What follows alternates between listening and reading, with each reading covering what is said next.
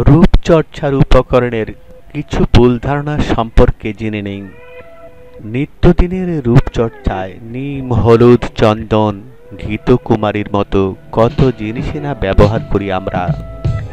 সেই সব জিনিস নিয়ে বেশ কিছু ধারণা রয়েছে আমাদের মাঝে।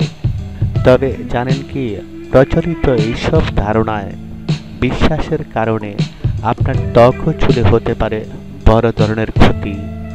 এই যেমন হলুদ মেখে গোসল করলেই উজ্জ্বল হবে ত্বক, এটা একেবারেই ভুল ধারণা।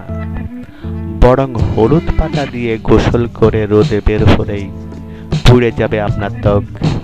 এমনটাই বললেন হার্বস আয়ুর্বেদিক ক্লিনিকের রূপ বিশেষজ্ঞ শাহিনা আফরিন রূপচর্চার উপকরণের এমনই কিছু ভুল ধারণা সম্পর্কে চলুন জেনে নেই এবার। হলুদ হলুদ মাখলেই ত্বক হয়ে উঠবে। হলুদের মতো উজ্জ্বল। এমন ধারণা প্রচলিত আছে অনেকের মাঝে। হলুদ মেখে বাইরে বের হলেই ঘটবে কিন্তু এর উল্টোটা। রোদে পুড়ে কালো হয়ে যাবে ত্বক। তাই সরাসরি কাঁচা হলুদ বাটা নয়।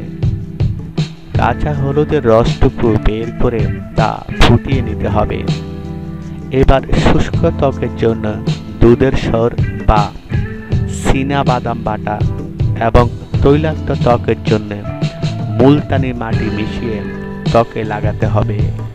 গ্লিসারিন গ্লিসারিন যে শুধু শীতকালে ব্যবহার করা যায়, তা কিন্তু নয়। গরমকালেও ত্বক সুরক্ষার কাজে দেবে গ্লিসারিন। এই জন্য অবশ্য এক ভাগ গ্লিসারিনের সঙ্গে চার ভাগ পানি মিশিয়ে নিতে হবে।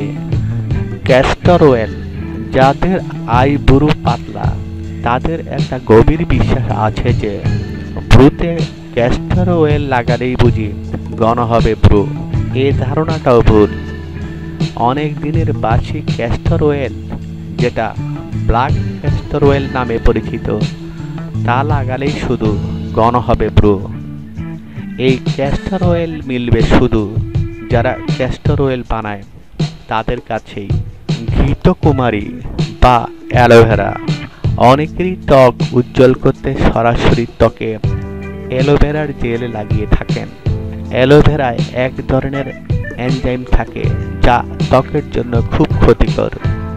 এই জন্য অ্যালোভেরা সরাসরি না লাগিয়ে ত্বকের সঙ্গে মানায়।